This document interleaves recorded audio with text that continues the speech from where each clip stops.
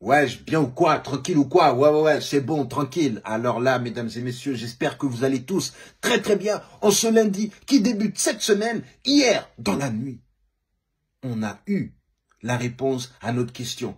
Qui va être élu meilleur joueur de la Ligue 1 Et bien sûr, sans surprise, c'était Kylian Mbappé. Mais oui, tu pensais quoi? Qu'il y avait du suspense? Mais t'es malade ou quoi? Hein? Ça fait trois fois qu'il était déjà élu meilleur joueur de la Ligue 1. Tu pensais pas qu'on allait lui donner la quatrième Hein? T'es malade ou quoi? Qu'est-ce que je t'avais dit? Quand Kylian Mbappé a signé au Paris Saint-Germain, je t'avais expliqué que la Mbappé Pite allait arriver, se déborder sur les côtés, marquer des buts de manière inconsidérable. Et c'est ce qu'il a fait. Chaque année, il a honoré son contrat de buteur. Tu comprends? Non, ce n'est pas un bambin. Tu vois ce que je t'explique Hein? Trois ans d'affilée qu'il est meilleur buteur. Là, il y, a le, il y a le dernier match. Il va encore marquer.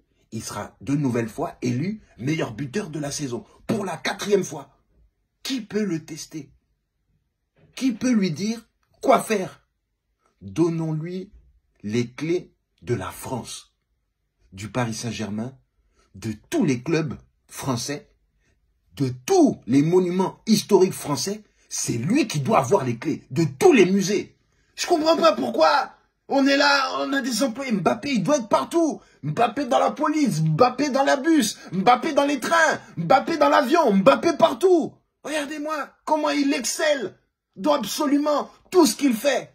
T'as pas entendu son discours? Absolument magnifique. Oh là là, on aurait dit quelqu'un qui avait de grandes responsabilités, qui a commencé à d'abord euh, mettre un hommage euh, à son coéquipier qui a fait une chute euh, catastrophique en cheval, il a aussi parlé de son staff, des intendants, des stagiaires, des mamans, de tout le monde.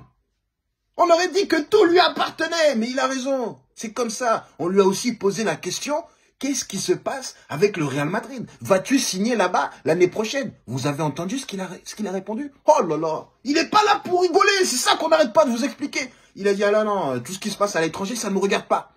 Moi, j'ai encore un an de contrat avec le Paris Saint-Germain et je jouerai au Paris Saint-Germain.